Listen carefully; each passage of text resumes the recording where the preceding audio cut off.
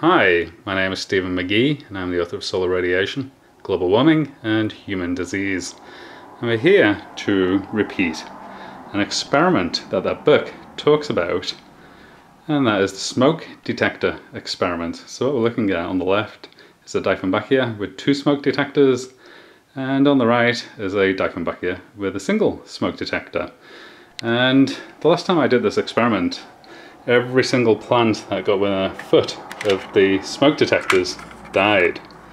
So these are the smoke detectors. They all have an identical amount of americium 241 and it's one microcurie that's in there. So we're going to expose these plants to these radiation sources and we're going to monitor them and see what happens.